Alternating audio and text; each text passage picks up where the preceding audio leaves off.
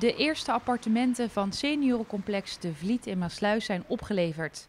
Mevrouw van der Meijden Bokshoorn ontving als eerste huurder haar sleutel uit handen van wethouder Sjoerd Kuiper.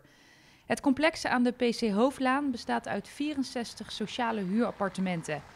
De Nieuwe Vliet bevindt zich schuin tegenover het voormalig seniorencomplex De Vliet, dat gesloopt wordt.